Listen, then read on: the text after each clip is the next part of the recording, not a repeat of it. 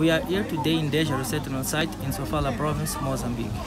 It has been one year since Cyclone Idai made landfall. During Cyclone Idai, thousands of families lost their shelter and all of their belongings. Ndeja is one of the sites where the government of Mozambique resettled people who were displaced by the cyclone.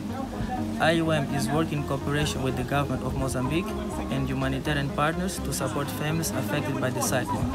The IOM shelter team is distributing shelter recovery kits in both resettlement sites and in host communities for families to rebuild their homes. More than 2,500 shelter recovery kits have been distributed. We are also supporting these families with construction training and labor support. Substantial humanitarian aid has been provided in the response effort to Cyclone Idai. There is still significant recovery that needs to take place for affected families to fully recover and restore their livelihoods.